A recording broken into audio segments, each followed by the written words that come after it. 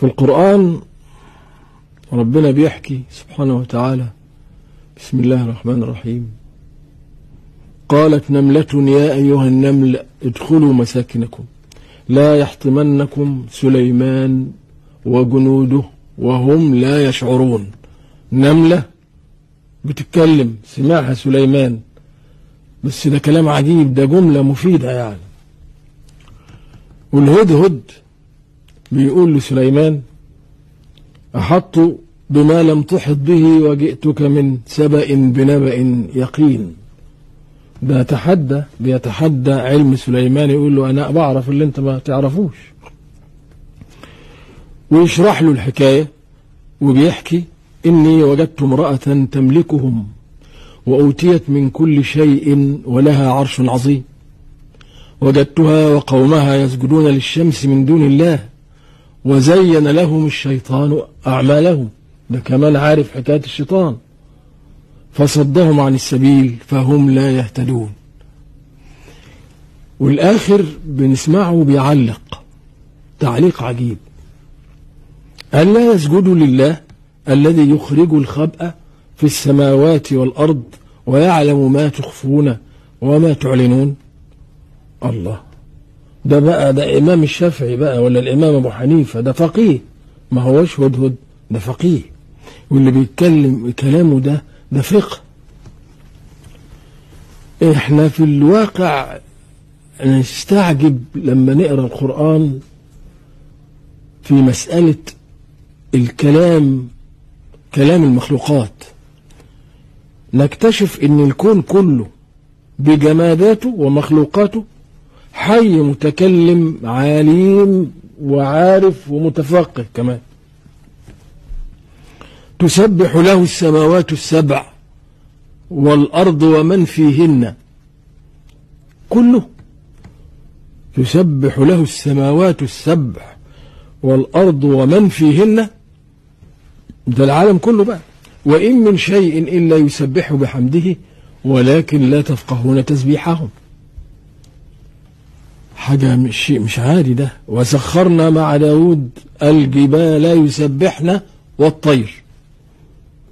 إنا سخرنا الجبال معه يسبحن بالعشي والإشراق. الجبال بيسبحوا مع داود عليه السلام. وبالتالي داود لازم سمعهم وهم بيسبحوا معاه.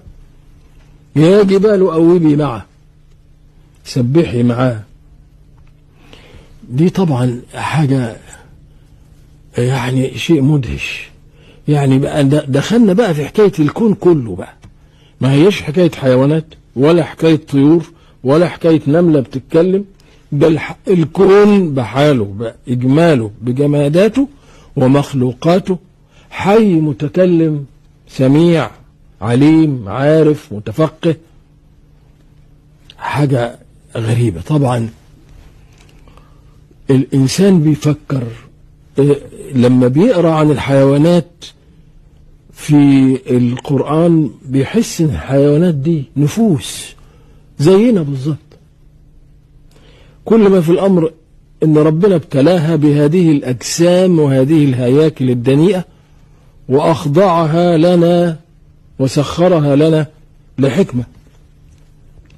إنما لما نقرأ كلامها نحس إن ده دي نفوس مش مجرد حيوانات زي ما نبص لها كده نستهي في إيه بقى نملة ومش نملة وحاجات زي كده.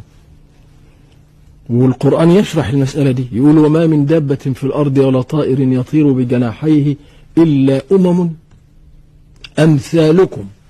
يعني في مثلية في الموضوع وزي ما إحنا لنا أمم هم له لهم أمم. وبالتالي هيبقى لهم ملوك ملوك وقيادات.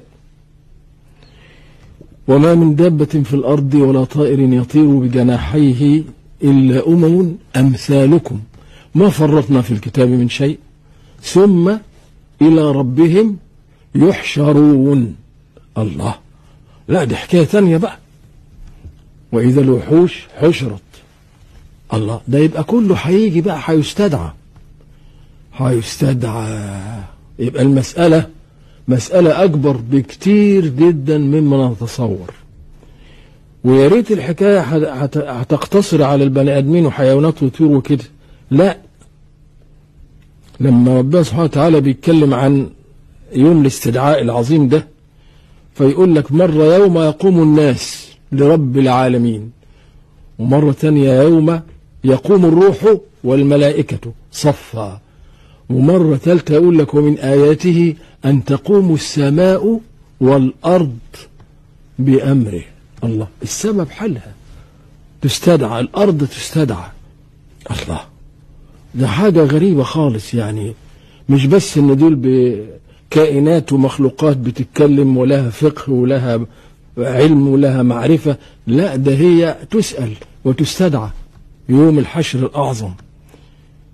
وبعدين ده يوم عجيب. ربنا إداله أسماء عجيبة. الحاقة الصاخة الطامة. ذلك يوم مجموع له الناس وذلك يوم مشهود. وتيجي ذكر إذا جت ذكره يقول لك يوما عبوسا قمطريرا. يقول لك يوما يجعل الولدان شيبا. إيه ده؟ ده شيء فظيع. يوم الحشر الأعظم شيء فظيع. يستدعى الكون كله. الإنسان حيوان الطيور السماء تستدعى أرض تستدعى. يعني برضه شيء غريب. الروح الملائكة كله. آه الواحد ساعات يفكر يعني إيه يعني ممكن يبقى مصير الكلب اللي أنا بربيه أفضل من مصيري مثلا في الآخرة. الله أعلم. ما هو ما بقاش كلب. لا بقاش كلب ده بقى نفس. ده دي نفوس. ولما اتكلمت هذه النفوس في القرآن لقينا إن هذه النفوس لها علم ولها فقه وعارفة الشيطان وبيضحك على مين ساعات الواحد يقعد كده يقول طب النملة اللي ماشية على الحيطة دي يا ترى بتقول عني إيه؟ ما هي المسألة بقت كبيرة.